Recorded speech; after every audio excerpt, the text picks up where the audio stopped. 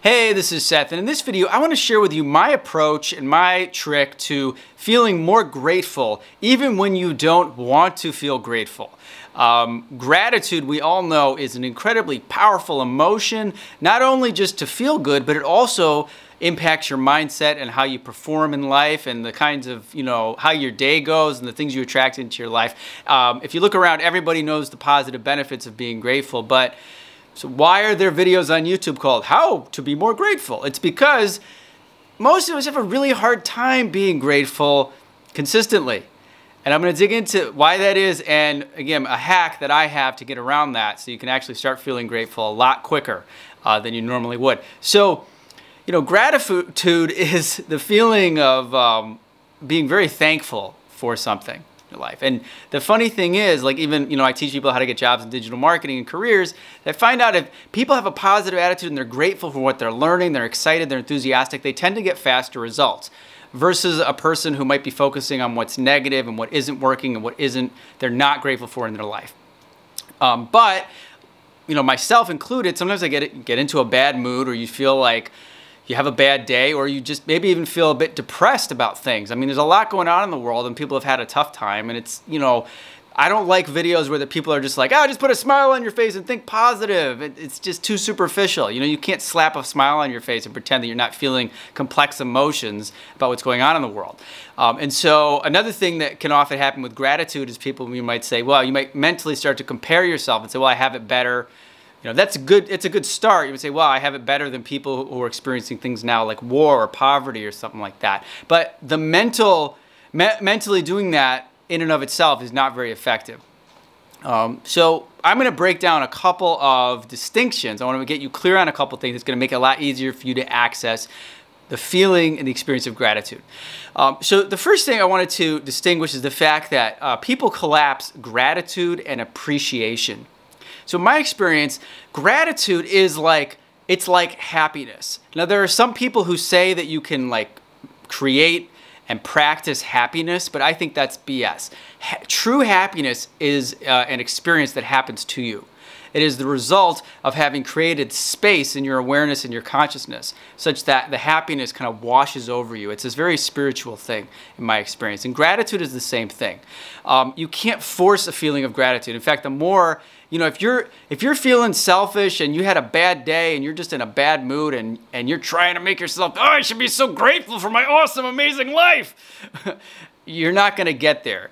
Um, or you could be in a situation like one of my students where you know you might have like a great family, a great relationship. You know, you you, you have a good. Um, you know, really good friends, but you're having struggles in your career, then you tend to only be able to focus on that one thing that isn't working in your life. And the mind at this point is like a little child. You know, it really is the child part of our mind that gets like this, that cannot see what there is to be uh, grateful for in our life, to be appreciative for in our life. Because children are not grateful. You know, if you have kids, you know, I mean, they're wonderful, we love them, but kids, a three-year-old doesn't have appreciation or gratitude for things, they just get they're if they're angry, they yell. If they're hungry, they scream. If they're happy, they laugh. They don't have an appreciation. They don't experience gratitude the way that an adult can. And a lot of times, us we get locked into that child part of our mind and our emotions, and that's why it's so hard to get out of it. So going back to what I was saying before. Um, I wanted to distinguish between gratitude and appreciation. So again, if you try to force the feeling of gratitude, it's almost like trying to make a child feel grateful or happy. You, you know, you can't force a child to do anything. I mean, you can, you can obviously discipline them, but you know, you can't, they're gonna cry if they're gonna cry. Um, and we're the same way, even as adults. But what you can, so you don't wanna try to force the feeling of gratitude. What you wanna do is focus on appreciation because appreciation is actually more of a mental, psychological state um, literally clears a space inside of yourself. You have to think about the times in your life when you've wanted to be grateful, but you weren't. Probably you weren't feeling good. You were feeling depressed. You might have been feeling angry. You might have been feeling resentful about things. You can't pivot right from there to the feeling of gratitude. There's so much stuff in the way. There's whatever it said, the anger, the resentment, um, unfulfillment, whatever it might be. You have to actually create some space, and that's what appreciation is for. Now, appreciation Again, you don't have to feel anything. You don't have to put any pressure on yourself. You just have to start literally appreciating, um, seeing clearly the things around you, the things that you want to appreciate. For instance, like this is the exercise that I recommend. um, that I think is really cool. So one of the things I like to do when I'm feeling like like uh, I need to be more grateful and I'm not, is I like to think about life in the 1800s. My grandparents, or not my, my, my great great grandparents, you know, or I watch a western about what life was like a long time ago before we had any technology. Back when people didn't have washing machines, they didn't even have cars. You know, people going to settle the west coast, the west part of the United States would just die. Like most people would just die just trying to get to the Pacific Ocean because there was so much that we take for granted that they didn't have, right? Now, mentally, again, that's mm, that, that's helpful sometimes, but mostly it's just another mental construct where you go, oh yeah, yeah, we have a lot better than people did before, blah, blah, blah. I still don't feel grateful, you know, this sucks. Um, but here's the exercise that I like to do. Uh, first of all, again, you don't take the pressure off yourself to feel grateful. Don't try to be grateful. Just try to appreciate the things I'm going to be telling you to focus on. Now, the main thing that I want you to also do is um, you're going to be using your creative, analytical, problem-solving side of your brain. So this takes it out. This gives your mind something to do. Um, so one of the things that I learned from a businessman a while, like 10 years ago, was just like, in your house, right now, there is so much more happening under the surface that you have any awareness of. Now you could say that scientifically too. We could look at like the ultraviolet light spectrum and see like this, or the cells in our body. We can't see any of that, and we never think about that. But there's all these processes happening, um, sustaining us, keeping us alive that we never ever appreciate, or uh, we're just not aware of them. And I'm not even going to have you look at those. But what I want you to do is look around your house right now. Make it physical, make it real. And look at even it could be anything. It could be your cell phone, it could be something in your kitchen, the plates in your kitchen, your table, the door on your house. Um, no matter if you have a big house, a small house, you have a lot of things, you don't have a lot of things. I don't have a ton of stuff here. But what I like to do is I'll look at, say, the kitchen sink, right? And I'm just like trying to think about all the people that have contributed to make all of the stuff I have possible. Like the sink, right? The sink is a faucet. And I'm like, you know, back in the 1800s, they didn't even have faucets. You literally had a well and you had to like if you wanted a bath, you had to like go to the well and put the water in a bucket and like pour the bucket in. If you wanted to wash something, like a dish or something, you had like a basin and you couldn't just, you know, flip a switch and water magically comes out. Now, I don't look at this when I do this exercise. I don't look at it as a obli you know obligation or guilt or oh, I have it so much better, so I should appreciate and it should feel good. I just try to use the left side of my brain, the analytical side of my brain, the and, and along with the right side, like the problem solving side of my brain, the creative side of my brain, it's like, God, how many people contributed to that water faucet? Like, what was the science? Like, I don't, and I'll look it up on Wikipedia. I'll be like, what was the history of the faucet? You know, who came up with the technology that figured out you could have water move through pipes and the, the, the water pump? You know, what was it like back in the old days where you had to physically pump it? And, you know, how many people, hundreds or thousands of people contributed to this. It's, it's, not even usually just one person. Even with the automobile, with Henry Ford is credited as you know inventing the automobile. But There were other inventors that contributed all the different technologies that went into the automobile, which is the whole other thing. But just starting with the sink, and I look at the sink and I'm like, and then look at all the the, the faucet itself, someone had to design the faucet. And then who built the faucet? Oh my God, there's a factory somewhere in the world. I don't even know, probably in China. But somebody had to design the faucet and manufacture it. And who designed it? Who put it together? And then someone had to ship the faucet here, where I am in my villa, and someone had to assemble it when they were building this place. And you could go on and on like this. It's actually really crazy. Like you look, I mean, a cell phone is like will, could take you hours to appreciate all the stuff from the physical material of the cell phone to the technology inside the cell phone to all the different apps inside the cell phone to all the soldering that went into putting the circuits in there to the history of the circuit to the original computer. Who invented the original computer? How did it, microchips become so small? Who are all the scientists and you know um, engineers behind this particular technology who invented all these different apps and, get, and I get in there I go to Google Maps and I'm like now we talk about GPS oh my god satellites in the sky. Who invented that? What material are the satellites made of? And that's that's even crazier out there. You can come right back into your house and look at like who who made the door, who invented the idea of a door, you know, and who the hinges, who built the hinges? Where did they actually come from? Like physically, like did they come from a factory in China? Where did the material come from? What about the wood? The wood in this villa, the wood in your house, or the metal on the the handles uh, of your house. Like, go crazy. Let your mind focus on this Not again, not to try, try, to force you to have a feeling or an experience or to you know or to be grat- grateful. Just appreciate. Literally, appreciation, guys, is not like oh, I appreciate you. It's not a manufactured emotion. Literally, you just become present to something. It's like this. It's like when I look at what my parents did for me when I was younger.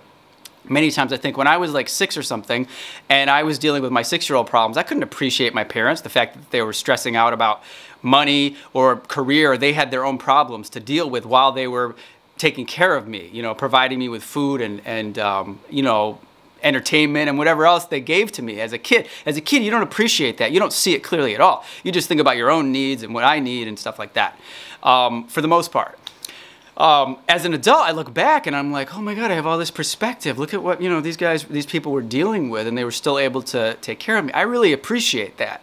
And it's not even like I said, I don't feel guilty about it. I just see with much wider perspective.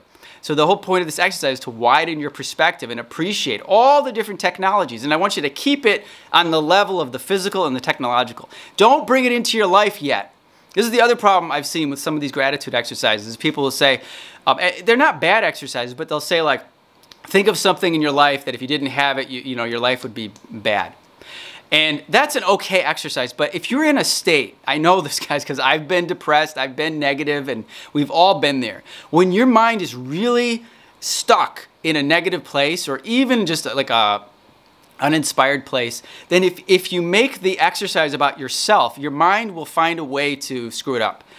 They might, you know, it's like it's like that movie it's a wonderful life right? You know i don't know if you guys have seen that. It's a classic. It's about the guy who's going to kill himself because he lost all the money in the town. It's a classic christmas movie. But then he has a vision from an angel and shows him what everyone's life would have been like if he was never born because he wishes he was never born. And he sees oh my god i made such a difference for all these people. It's beautiful. It's heartwarming. It's moving but you have to understand in the movie it's very accurate he went through a whole movie to see that in three dimensions.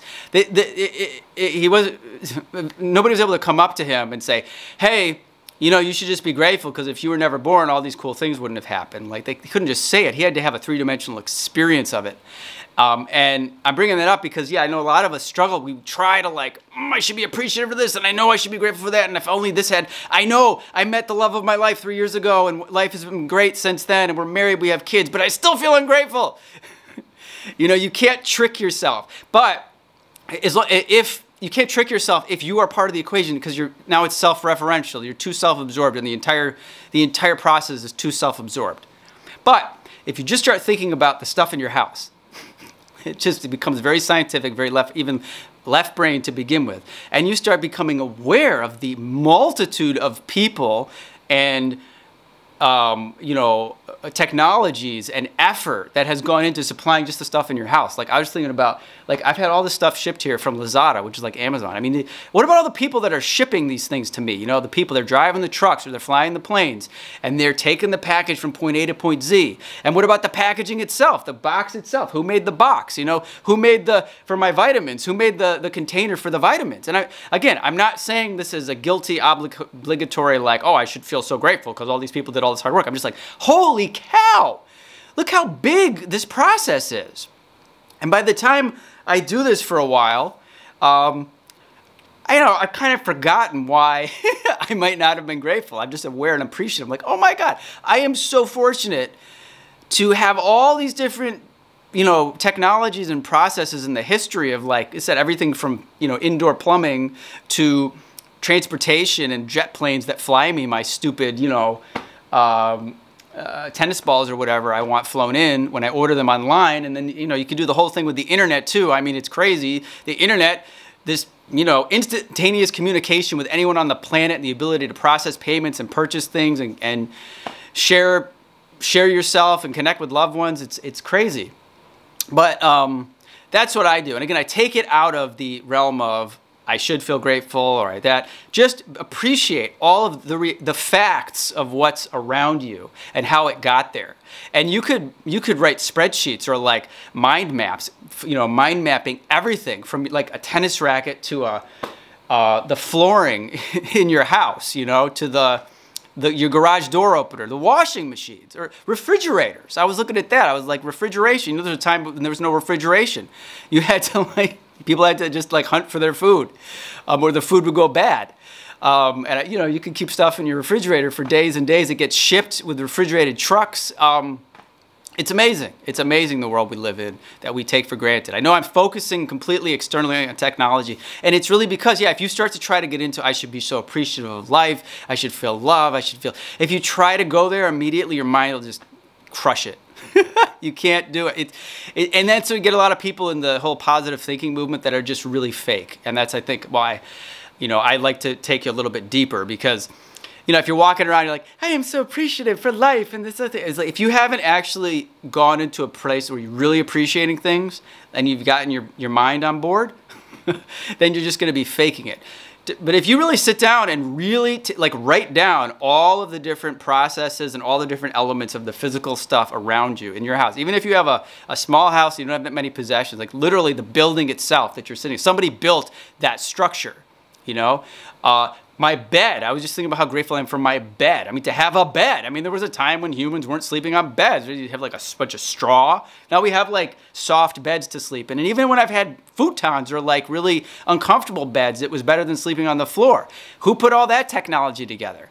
Um, and you can go to Wikipedia and look up the history of all these things. And it's very, I think it's fascinating. It gets your mind focused on those things. And then come back to appreciation and say, wow I, you don't even have to use words like blessed. You can say, wow, my day-to-day life is supported by all of these different people, technologies, and the history of this particular, you know, from indoor plumbing to construction to technology.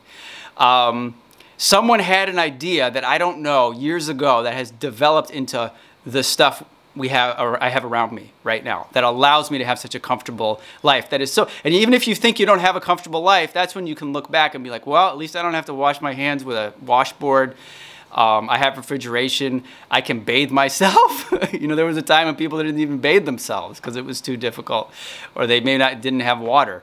Um, and then you can get into all the food you know that you have the ability to eat all the people that grow the food and the farmers and the people that you know put the you know raise the animals or pick the, you know, grow the crops and ship it and then put it in the grocery store and just all the different people in between there. I mean, I mean, I get, it, it can be, it can be very positively overwhelming. You know, sometimes we get so take this stuff for granted, but I think, you know, I have, I've had times where like the power went out in my villa and I have nothing, like it's literally like, I'm in, I'm in a tropical place, so it's super hot, so there's no air conditioning.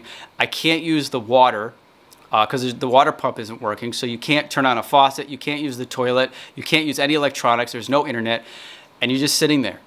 I'm just sitting there. And the food's starting to go bad in the fridge. And thankfully, you know, I could go out or I could order something. And, it, you know, you have these delivery apps. And I, you know, sometimes I get food delivery and I just think, oh my God, how comfortable is this that I can like just press a button, someone brings me this food, it's been prepared for me, somebody grew the food, cut it up, flavored it so that it's enjoyable for me to eat, and I get to eat it. I mean, then I just get naturally grateful. If I put the efforts, you put the effort into the appreciation. Now you could do this with your families too. I mean, I said start with something objective, like again, some, some material thing in your house. It's a lot easier. If you're having a fight or a conflict with somebody in your relationship, or you're having problems with your career, um, or you know, you're, frustrated because of the job search or something, it's hard to start out with that right away. But start with something that's objective, like a material object. Then go to your loved one um, and, and then see if you can do the same thing and think about, oh, you remember they did this thing for me, this. Look at them as the three-dimensional thing in the same way, like, what's their experience? What was their day like? What's their history like? What's you know what's their experience in terms of their challenges?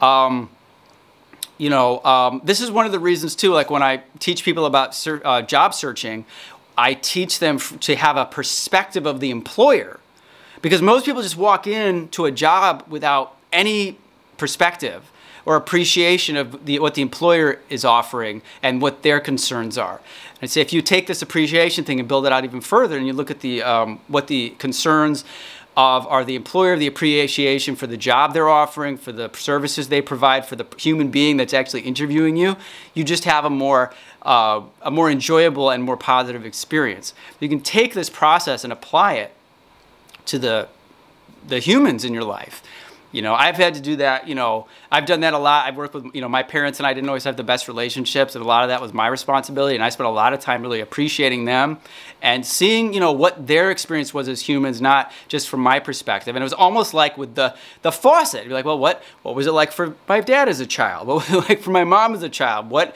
is their mindset? Why are they thinking this way? Why are they saying, you know, they may be saying things I don't agree with, but where are they coming from? Um, and then appreciating, you know, really being aware of and understanding that. And as the more appreciative you get, I think the more calm you get, the more relaxed you get, and the more perspective and space you have. And in within that space, that's when gratitude can show up. So uh, I hope this was helpful to you guys. I had fun making it because I think creating that space is a lot of, you know, when I think um, when you create space, there's more room for really good things to come up, and um, you don't have to force it. You don't have to force it because I know I spent a lot of time struggling with that too. Um, and now again i just i just try to be appreciative you know i'm appreciative even now that i have the space and the time and the ability to share this knowledge with you guys um, let me know what you think was this helpful I, I, hope it was but you know if you have any feedback please leave it in the comments below um, I appreciate you guys. I hope you go out there and appreciate something in your life and feel some gratitude. And uh, I will see you in the next video.